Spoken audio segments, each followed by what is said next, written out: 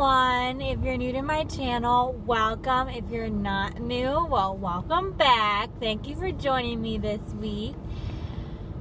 Don't worry, I'm not driving and being I, I got you all set up on a phone mount that I legally got, you know, it's all good.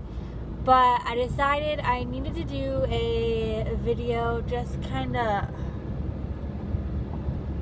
there's been so much going on in my life and there's been a lot but one thing that like I kind of put back in the forefront of my mind because there's been so much craziness is um, my Turner syndrome and I guess it kind of really hit me yesterday how much like that diagnosis and all the infertilityness that comes along with it really does affect me. Um, because you know I've been so focused on so much else that I just haven't had time to really even think about that.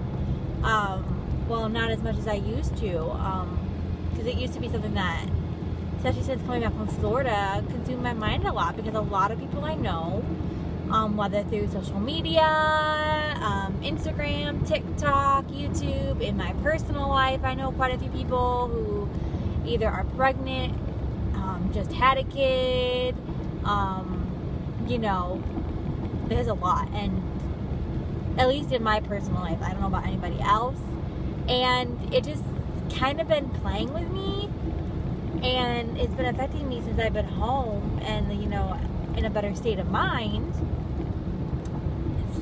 But this last month, with everything that's been going on, it's kind of not. I guess it's kind of been to the back burner because I've been so preoccupied with my mom and dad and everything that happened with my best friend, and it's just been like crazy. And but yesterday we were we went to a luau, and afterwards we went to pick up.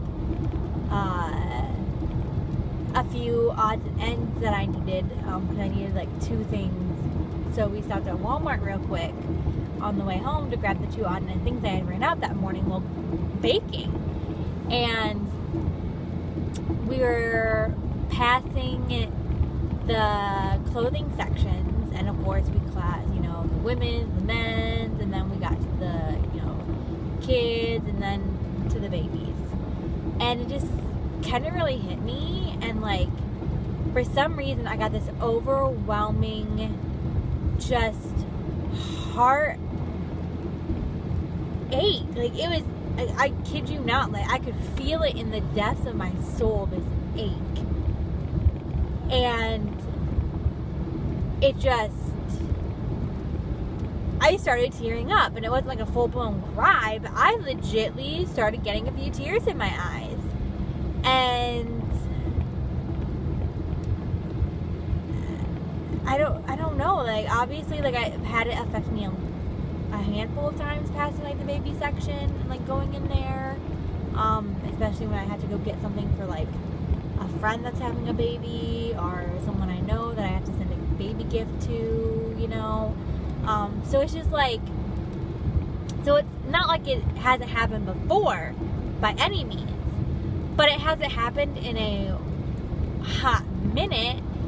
Um, where I just all of a sudden, just by looking at the section, like I just felt my stomach drop, my heart just ache, like it ached just right in my chest, and tears started welling up.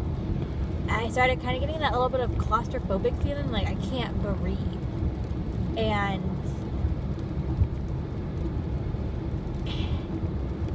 I think people don't understand how much infertility affects somebody. And I think that's one thing that I especially want to work on with awareness is I know myself it affects me a crap ton. And then I know so many women that it's actually not as uncommon as I thought when I was younger. My naive 16 year old self who was diagnosed with Turner syndrome thought I was a one in a million person, but there's way more people who not only well Turner syndrome obviously isn't the only cause of infertility, obviously. So like it just really hit me Like, there's so many people that we don't even realize that are dealing with infertility. And it's actually astounding how many women and men, because men have to deal with being sterile and infertility, and there are some men who are the reason that they, that them and their spouse can't have a kid biologically, like naturally. Um, so it's not obviously just women, you know, that deal with this. Um, so it's just, it's crazy to think how many are out there and then how honestly, shockingly, little it's talked about with infertility and how how that damages someone. Like I was a 16 year old who was diagnosed with Turner syndrome and told I would not be able to biologically have a kid, and it damaged me it affected me. Like I turned heavy into my eating disorder and started acting in some seriously life-threatening behaviors. And I know a lot of women um, because obviously women are the ones that more talk about it because men don't really the men that know about the infertility issue don't really come forward as much but like I know a lot of women that they just it just it hurts. They feel pathetic. They feel broken. They feel they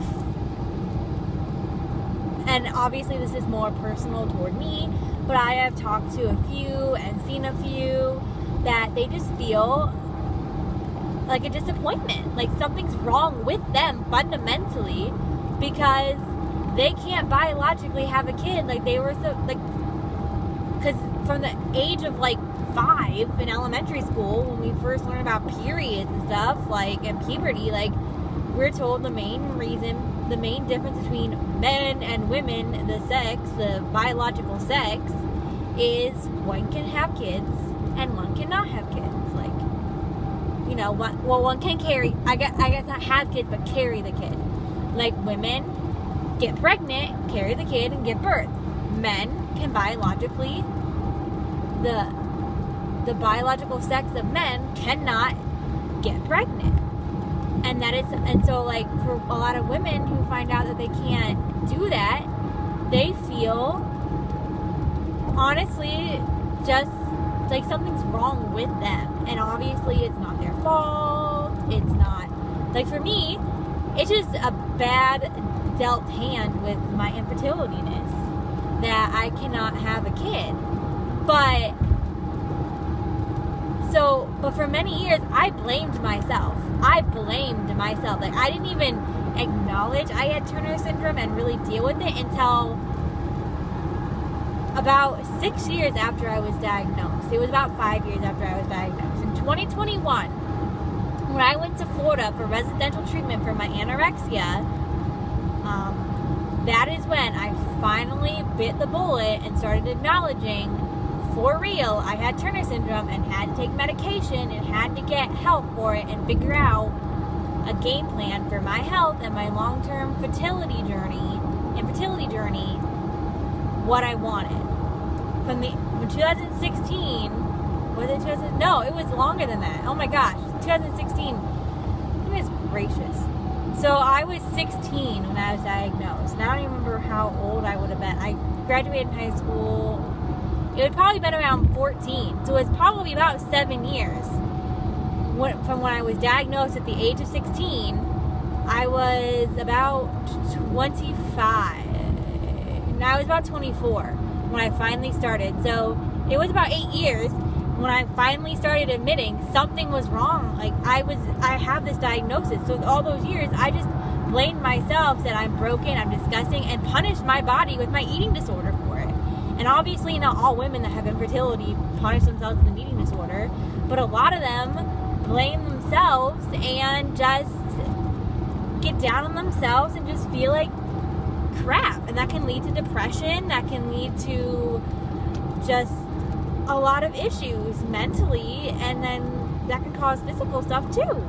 Um, so I really think it's important to start talking about how infertility is a, such a big thing, especially with all the stuff about abortions and all that in the news lately. It's really important to talk about infertility and how big of an issue it is for many women and men and how much how much heartbreak and issues and just problems it causes and how and to spread awareness. Um, so that's just kind of a little soapbox personal moment. Um, sorry just had to get that out there because last night just really hit me. Um, but thank you for watching. If you're dealing with infertility i'm here with you. We are not we are not fighting this battle alone. You are loved. You are not broken and thank you all for watching. Please subscribe and have a lovely day.